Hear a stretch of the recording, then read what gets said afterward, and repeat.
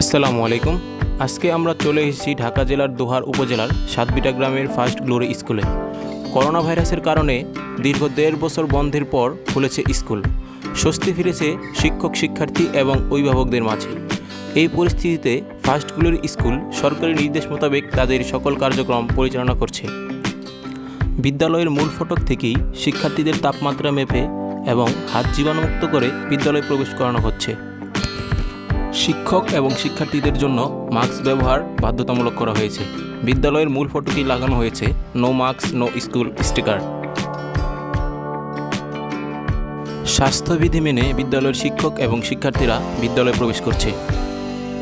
বিদ্যালয়ের মূল ফটকে লাগানো হয়েছে সচেতনতামূলক ব্যানার। করোনা ভাইরাস প্রতিরোধে করণীয় সেখানে উল্লেখ আছে। শিক্ষক এবং শিক্ষার্থীদের বাধ্যতামূলক মাস্ক নিশ্চিত করতে মূল ফটকেই রাখা হয়েছে অতিরিক্ত মাস্ক।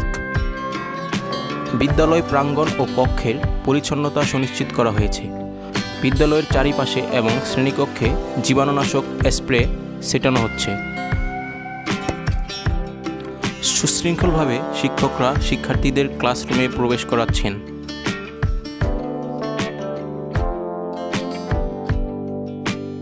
নির্দিষ্ট দূরত্ব বজায় রেখে বিদ্যালয়ের পাঠদান কার্যক্রম পরিচালিত হচ্ছে।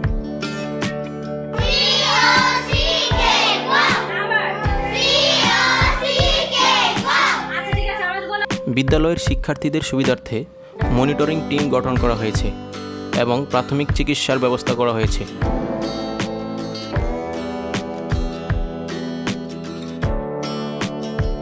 বালক বালিকাদের জন্য পৃথক দুটি পরিচ্ছন্ন ওয়াশ ব্লক তৈরি করা হয়েছে।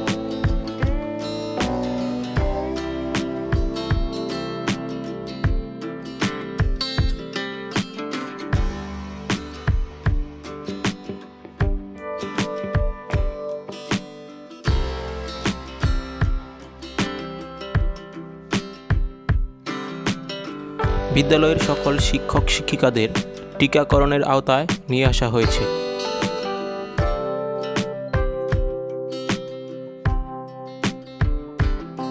এবং বিদ্যালয় ছুটির পর শিক্ষার্থীদের একে একে শ্রেণীকক্ষ থেকে বের করা হচ্ছে। ফার্স্ট গ্লোরি স্কুলের এই কার্যক্রম আমাকে অনুপ্রাণিত করেছে। তো সকলকে জানাই অসংখ্য ধন্যবাদ। স্বাস্থ্যবিধি মেনে চলুন, সুস্থ থাকুন।